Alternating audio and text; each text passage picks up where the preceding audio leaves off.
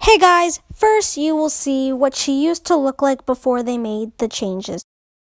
You will also notice that they changed other things here as well, so I put those in for you.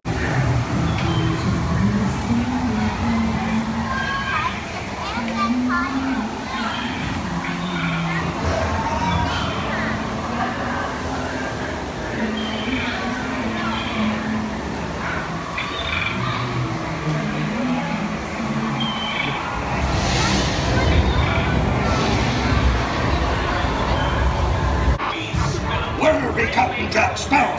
Speak up! Or do you fancy a swim with Davy Jones?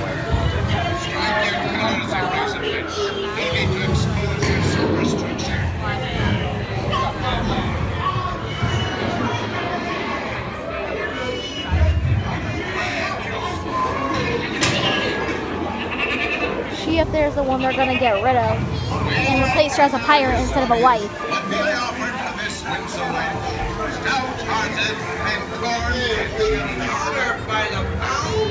Shift your cargo, dearie. Show 'em your larboard side. Watch the ready. Belay there, you forecastle swab.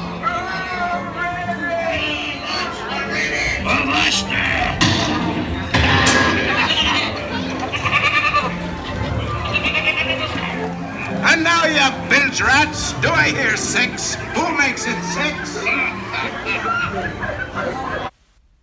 Now you will see the finished product.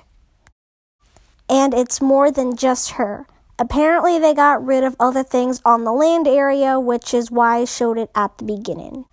So enjoy that as well as the new pirate girl.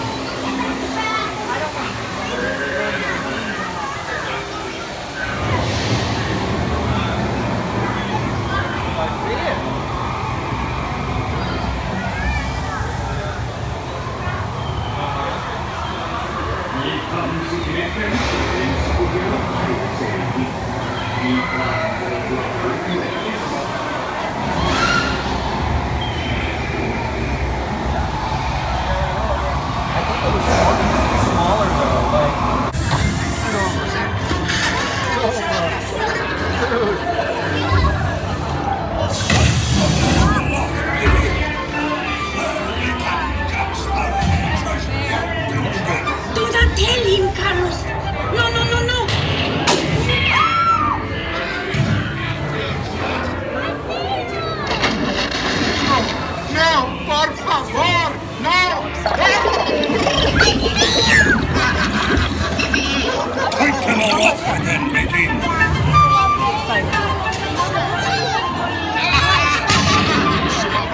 Do I hear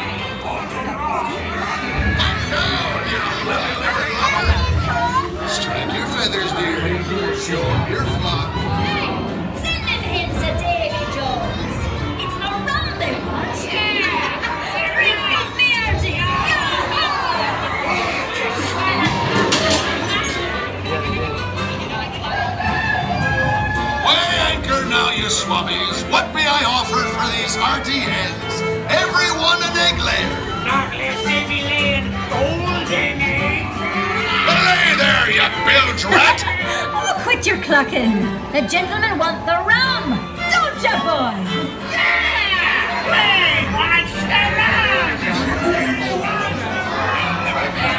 My own opinion is that it should have stayed the same because it's supposed to be what was back then, not what we are now.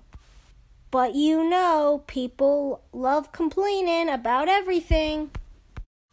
No, but honestly, I think it's a really cool attraction and she talks now, so that's great. I do love it and can't wait for more people to see it. I love you guys and I will see you on the next dose. Bye!